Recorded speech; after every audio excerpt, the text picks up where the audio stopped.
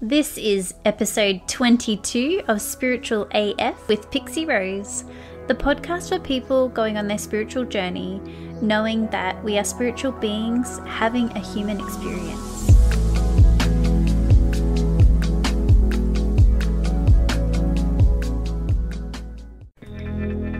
Before we get into this episode, I wanted to share with you that I am now a bombshell ambassador with Beauty by BB skincare range. This skincare is so completely aligned with my values in every way, plus, my skin has never felt or looked better. So, I'm so excited to share this vegan, eco friendly, no tox skincare range with you. So, check out my shop in the show notes to get your hands on these beautiful products. You will love them.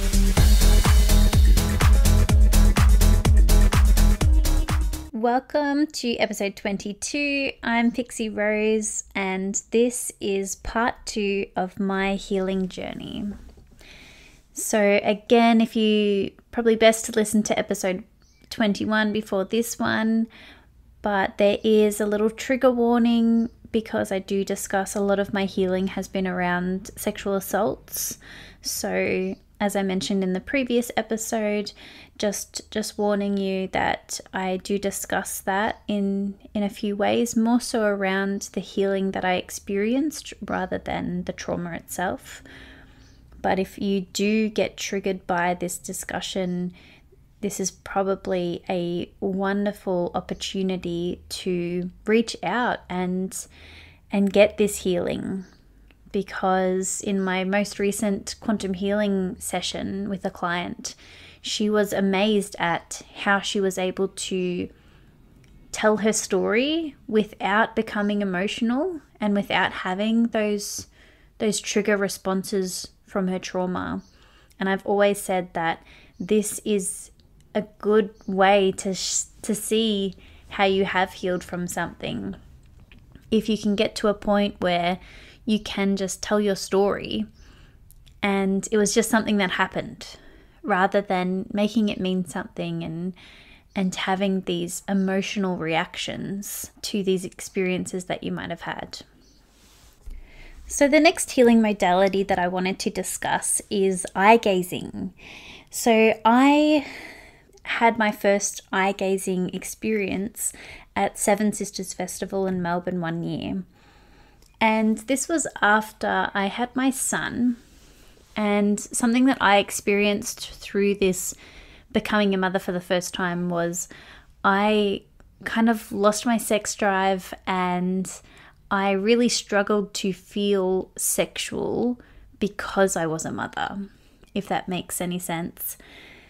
And I know that a lot of women do experience this. A lot of mothers have this experience of not feeling sexual. So I was at Seven Sisters Festival and there's lots of different workshops going on and all these different things. And I remember looking at the timetable and looking at a workshop thinking, yeah, I'd love to check this out. And I was talking to my friends who I was there with, and they, you know, they all said, oh, yeah, I want to go to that workshop as well. So I let them sort of lead me the way to you know because they said they knew where they they were going. They had been there all weekend and i was just there for the day. And so they led me to what i thought was the workshop that i was interested in. And when i sat down it was women talking about really sexual topics. And and i remember sitting there thinking this is not the workshop that i was wanting to sign up for. Like, there's no way that I would have signed up for that at that point because it wasn't something that I was looking at improving. I was quite content in a way of not feeling sexual.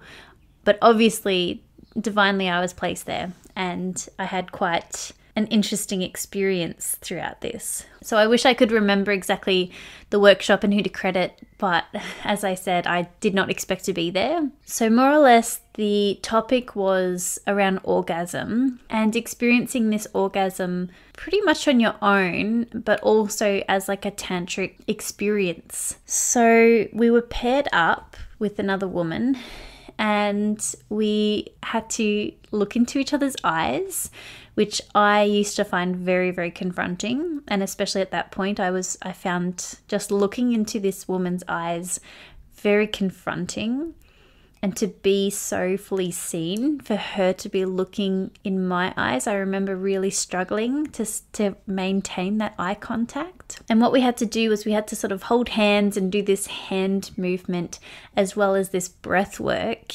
And in the workshop, you were meant to have an orgasmic experience. Now, I did not have an orgasmic experience.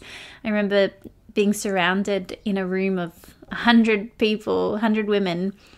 And yeah, it was it was pretty wild, but yeah, as I mentioned, I did not have an orgasmic experience, but it was a very profound experience because I just realized how lost that side of me was, how blocked I was in that area. And I just remember crying and a big thing about crying is like there's a, there's a need to release. So I just released all of this emotional blockage, you know, around my sacral chakra and just yeah, I just remember it feeling so powerful. And then since then I've done lots of different eye gazing activities, different tantric workshops, and eye gazing is something that I quite enjoy doing now. But as a healing experience, if you haven't tried that, it was pretty powerful for me. Mother circles or women's circles are so healing and so nourishing. I mentioned mother circles in particular because most of my healing occurred after I became a mother. There was so much inner child healing and stuff that came up around my own relationship with my mother and my first mother circle was so profound and it's something about sitting in circle and being able to be vulnerable, being able to be seen and heard. And it's just so powerful and so healing. I love women's circles so much. And throughout sitting with these other mothers, I was able to really heal, you know, begin that healing of healing my relationship with my mother. I had this message while sitting in circle or doing a meditation or something to that extent. And this message came through to me that I am my mother. And I just remember that feeling so powerful. And again, like this releasing feeling. Again, there was this sense of not wanting to address that, but then it coming up very naturally and instead of pushing against it, I really opened up to that healing. So, mother circles are incredible.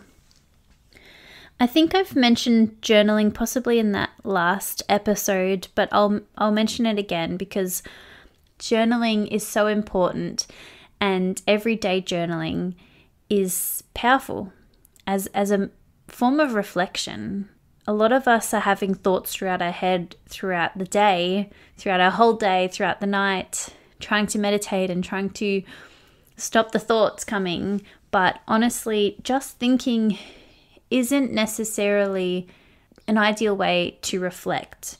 There's a real power and a deeper understanding of yourself and your experiences when you put that pen to paper and when you yeah, reflect on what's going on, what how you're feeling. I've had so many realizations through journaling. And I've definitely journaled on different I guess themes or topics. So I've done lots of gratitude journaling. And yeah, gratitude is something that's massive for me and again has been so healing in lots of ways. And I've mentioned that on the podcast before. So I've focused my journaling on gratitude. I've focused my journaling on manifestation. I've focused my journaling on mindfulness. There's so many different, you know, self love could be another one. So many different things that you could focus on to keep that journaling interesting, I guess. But that reflection modality is so powerful because when we come to our own realizations, that's so much more powerful and healing than someone else telling us what we're doing or what they're seeing to bring light to our blind spots on our own is incredible.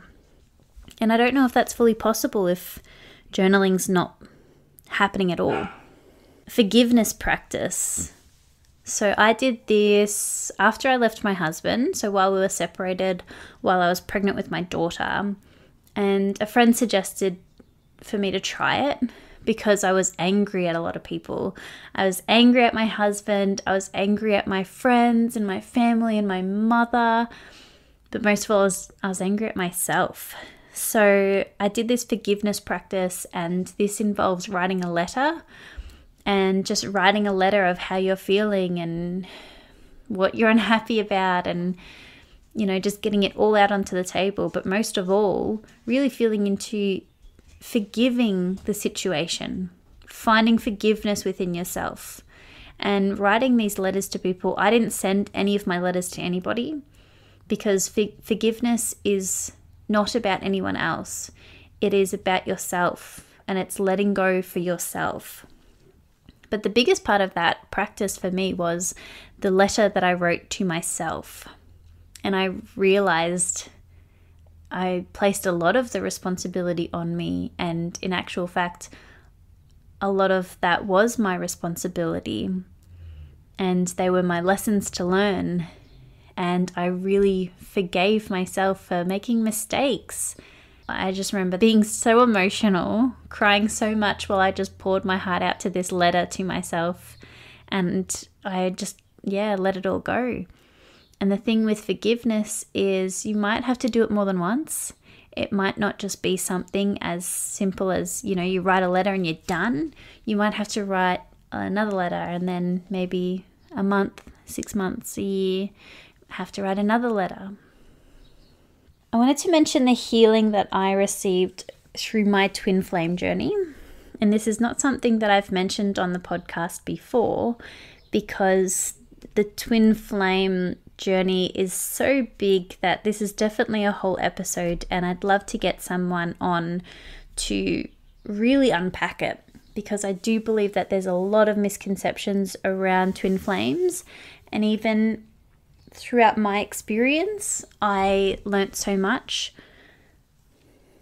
But I met my twin flame when I was in Egypt.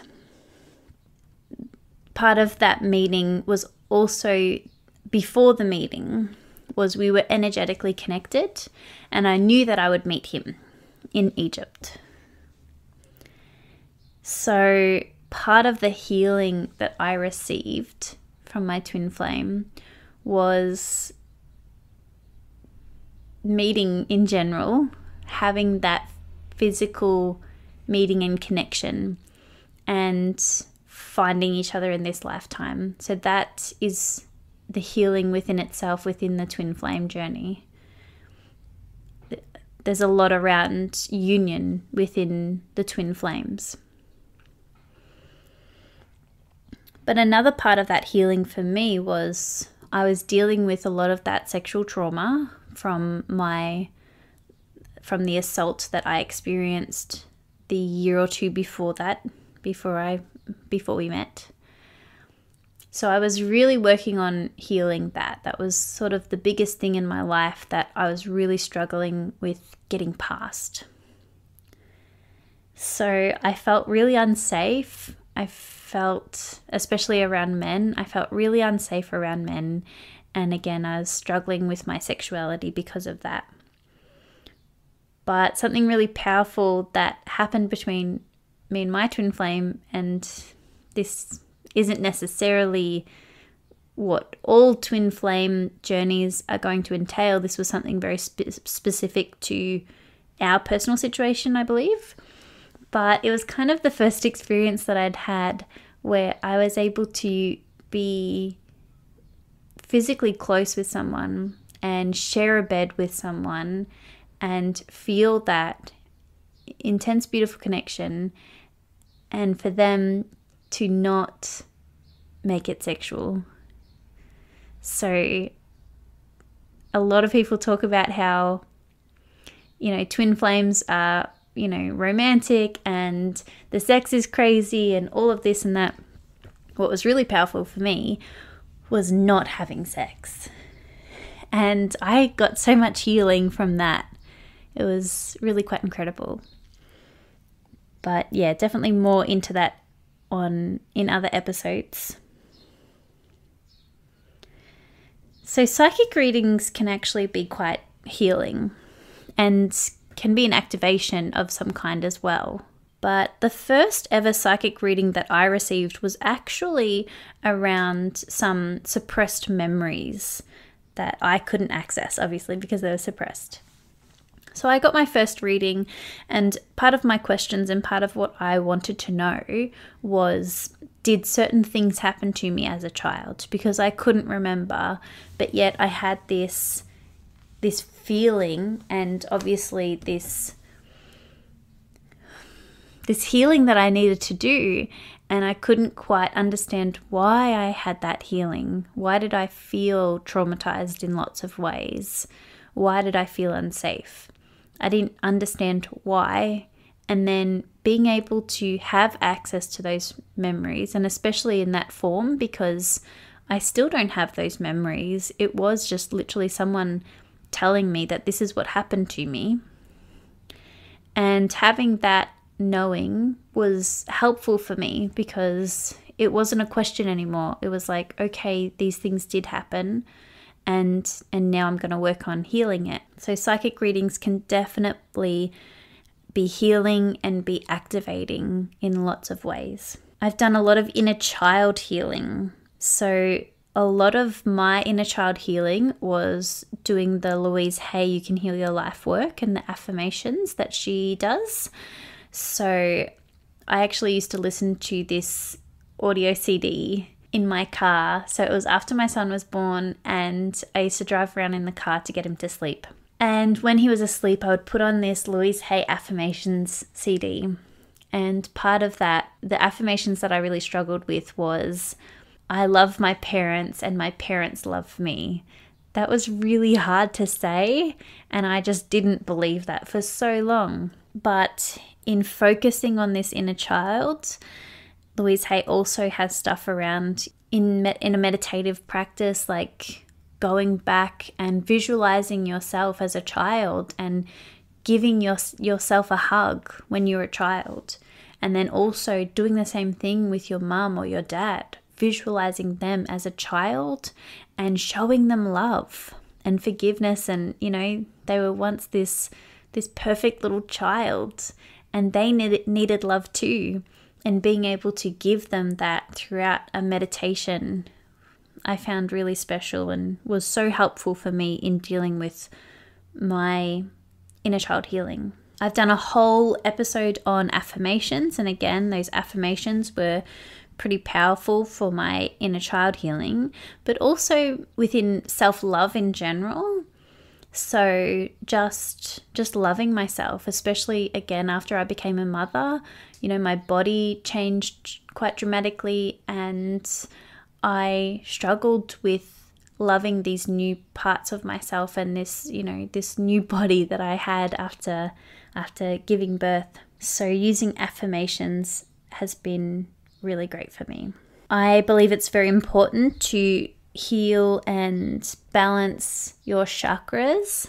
So I do this throughout my coursework, but I love doing chakra healing using essential oils. And this is something I do want to explore and share more information about because there is a lot of conflicting information about this, but I loved using oils and I found it really powerful to hold the intention and also that there is something within the you know aromatherapy and the the smells and and everything. The healing makes sense to me. So focusing on each chakra. For me my root chakra was often imbalanced and my throat chakra was quite imbalanced as well. And it's pretty much only been maybe this year that I've really got a handle on those chakras in particular. Sometimes that healing is is really quite a journey. This as with most of all this healing, like it's not like you just do one thing and it's done and dusted. It it really is a journey. mirror work has been really great and powerful for me. Um, just looking at yourself in the eyes, looking at your whole body, practicing that self love, telling yourself that you that you love yourself. I love you. I wanted to briefly mention mushrooms and magic mushrooms. I experimented with this when I was younger. What I got was it actually that that state of mind actually showed me what I thought about myself. So the first thing that I experienced when I used mushrooms was it felt like there was a magnet and it was drawing me to the corner of the room. And I just felt like I belonged in the corner of the room. And then at one point, I sort of slipped off the couch and was just sort of laying on the floor. I didn't feel like I was on the floor, I felt like I was the floor. And I felt like people could just walk all over me. And I do remember after that experience, I felt very low. And upon reflection later on in life and talking to other people, I, I believe that I felt so low because I was waking up to what I really thought about myself and what I was allowing at that point in my life was I felt like I belonged in the corner of the room and I felt like people could walk all over me and having that realization, I could start making changes in my life. So, of course, I've done whole episodes on this as well, but meditation has been really powerful and healing for me. I've got a whole episode on how how meditation cured my anxiety. So, if this is something that you want to heal, like that particular issue with anxiety, go back and check out that episode. And I've also been having some amazing experiences doing unconditional love meditation. So, really, really feeling into that heart space and that self love through meditation. I wanted to mention animal therapy. Animals are so healing in so many ways, and there are people that offer healing with horses and you can go and spend time with horses and there's a real self-love and healing that comes through that. I've definitely experienced some healing and loving energy through my cats. I've always had cats and and yeah it feels amazing just to have that feline for me that feline presence in my home and to be connected with them and their unconditional love. You can really feel that, and we can learn so much from animals. I have experimented a little bit with yoni eggs and have experienced some more healing using a yoni egg. Generally, you start with a rose quartz or a jade egg. I, for some reason, like to take the more intense approach, and I've been using uh, black onyx crystal yoni egg, and that's really great for releasing some heavy emotions. But I definitely felt really amazing using my yoni egg, and that's yeah, it's definitely been very healing but again, it's something that I'd love to learn more about and love to get someone on to talk all about that. But another another healing option, especially for sexual traumas, is using a healing egg. Something I've really struggled with this year is our inability to travel throughout this global lockdown because I have found that traveling has been very healing for me and again like an activation so when I was 21, I traveled around Europe for a couple of weeks, for six weeks. Before I traveled, I felt shy and I felt like I cared what other people thought of me. So, an example of this is I've always loved to sing and dance and I love music. And when I got my license, I loved just driving around and listening to music and singing in the car when I would do this, if I would pull up to some traffic lights, I would stop singing because I didn't want the people at the traffic lights to see me. And then after I went through Europe, I just felt like I had experienced a transformation of some kind. And I just cared that little bit less about what other people thought of me. So now ever since then, I don't I don't worry about that. I just do what I want to do. I can sing and dance in front of anyone just about and not be shy and yeah, traveling for me released a lot of that sort of stuff. Now, I've briefly mentioned crystals with the yoni eggs, but utilizing crystals in the form of protecting my energy was a real game changer for me. So, when I was told that I was an empath and that I had fairy blood, I was recommended to start using amethyst, carrying amethyst and wearing amethyst as a means of protection. And this was incredible for me. I felt so crazy. I was soaking up everyone else's energy constantly. And then using amethyst crystal, especially. And again, I do like black onyx in that form of protection as well. But this had a dramatic impact on my energy. I could not do a episode about healing if I didn't mention landmark.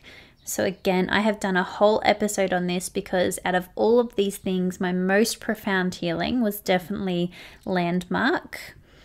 And I highly recommend everyone to do this. If you are on a healing journey, if you are focusing on healing, and especially if that healing is around the past, so the past in this lifetime, then you will get so much from Landmark. So check out that episode that I did around healing the past with Landmark. So, singing and dancing, I've mentioned it before, but in the chakras, singing has really healed my throat chakra in lots of ways. So, singing and dancing is like a beautiful, free way that you can practice self love and healing on yourself. Kundalini Shake. So, this is a tantric practice or a practice that I learned in a tantric workshop. It's a bit hard to explain on the podcast, but more or less, there's specific music and songs that activate the Kundalini energy. And the shake is starting from your pelvis and just sort of shaking and starting to shake your whole body. This was really powerful for me. Just before I launched this podcast, I went through a real, just a couple of weeks of just being really low, being very moody. And throughout that time, the only thing, the only spiritual practices that I could really bring myself to do was journaling, of course, and this Kundalini shake. So at the end of the of the day, I'd put the music on and I would just shake it all out. So that's, yeah, can be really, really powerful for many things. Definitely, if you want to activate that Kundalini energy, but I found it quite releasing in lots of ways. Now, I am planning on doing a whole episode on body talk, but I recently, in the last maybe month or two, did a body talk session with Regina. And for me, this session was very much around womb healing. So, again, still from the sexual traumas that I've been through, that's definitely been my main focus of healing for the past year or two, probably two years, even, maybe even three. I've definitely done a lot of healing around my womb space and that area just to release that trauma that I experienced. And this womb healing, well, this body talk session was so, so powerful. I'm going to do a whole episode on this, so I won't go into too much of the detail, but I definitely felt a very dramatic shift within myself. I I actually got my my menstrual cycle early, so maybe a couple of days after this session, and that was definitely my body releasing. And a big thing was I was still having flashbacks. So, as I mentioned, not having sex has been very healing in that area for me. But then when I when I started having sex again, I I was still getting flashbacks here and there from my assault. and I have not had a flashback since my body talk session. So, yeah, I'm so blown away by the body talk session and especially focus for me focusing on that womb healing. Now, kinesiology. I feel like I mentioned kinesiology in the last episode. but I am doing a whole episode on this. I'm very excited to be interviewing Alana Kay. So she's a kinesiologist, she has her own podcast. But very briefly, I'll mention that we, me and my son Presley, did a lot of healing around our gut health using a kinesiologist. Another thing that I received healing around was money manifestation. I had some blockages around mm, receiving money, and I went and seen a kinesiologist for that. So after I was assaulted, my body responded by creating candida within my body. So I started getting candida and again went and seen a kinesiologist and did not have a problem after that.